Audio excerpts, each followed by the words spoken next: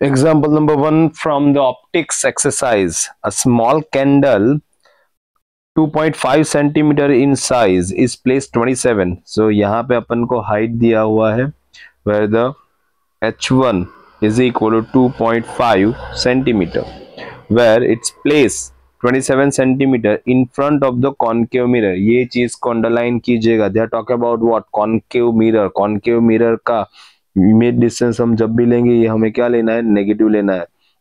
27 centimetre radius of curvature R be concave mirror के लिए? सारी चीज़ें आर हो जाए एफ़ हो जाए वी हो जाए, सब नेगेटिव आएगा, ठीक है?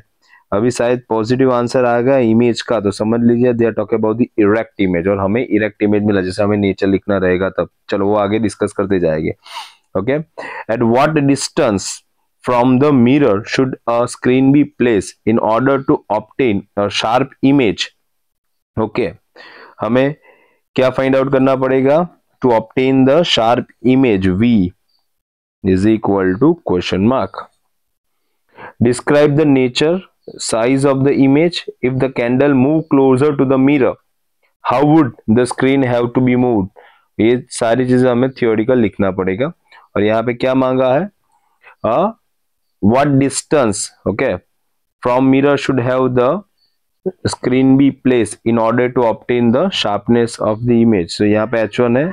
H2 फाइंड आउट करना पड़ेगा. और शार्पनेस की बात करें तो इसके मैग्निफिकेशन भी हम यहाँ पे फाइंड आउट करेंगे.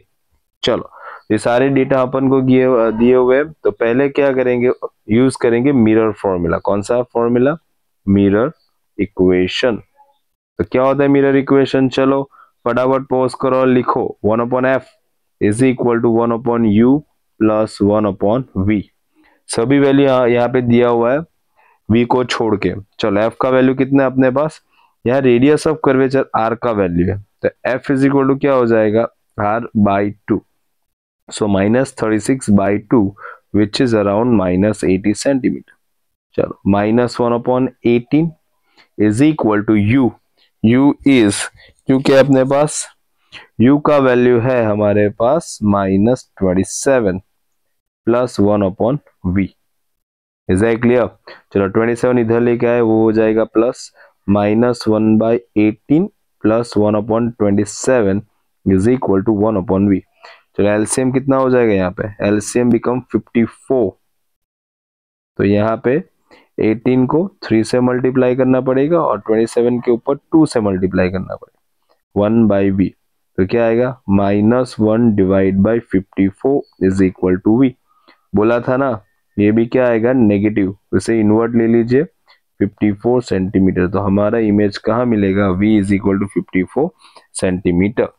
ठीक है, चलो, अब यहाँ से हमें मैग्निफिकेशन फाइंड आउट करेंगे। For the magnification magnification So, what is the formula of magnification? m is equal to h dash by h. और यहाँ पे अपने h2 टू बाई एच लिया है तो क्या लिख लेंगे यहाँ पे? H2 two by H one is equal to minus V by U हम ये वाला चीज़ यूज़ करेंगे यहाँ पे। हमें h2 फाइंड आउट करना है तो h2 to what about the h1 h1 हमें क्या दिया था? 2.5 सेंटीमीटर ये हो जाएगा 2.5 सेंटीमीटर माइनस वी क्या मिला अपने को?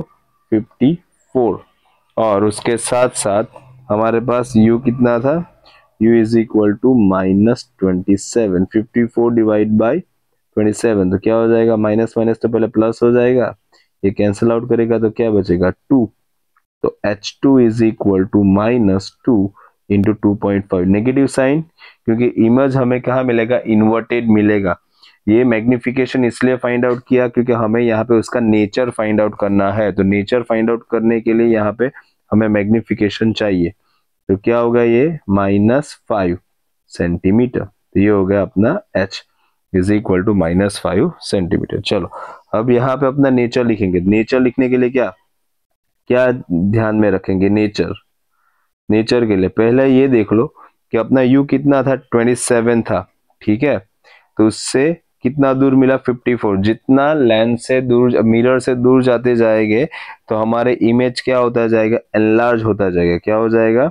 एनलार्ज बड़ा होता जाएगा। तो ये होगा एनलार्ज पहला। दूसरा कि ये भी नेगेटिव है ये यू नेगेटिव था। वी भी अपना नेगेटिव है। इसका मतलब ये हुआ कि दोनों एक ही साइड पे मिल रहे हैं। तो ये क्या हो गया? रियल ठीक है, एक ही साइड पे मिल रहे तो दोनों क्या मिल रहे? रियल और पहले एच अपना था पॉजिटिव ये आ गया नेगेटिव तो क्या मिलेगा? उल्टा. उल्टा मीन्स वॉट इन्वर्टेड ठीक है, इस तरह से हम इसका नेचर लिखेंगे। और एक और क्वेश्चन दिया था कि मिरर अपना कैंडल मिरर की तरफ़ जाएगा टूवर्ड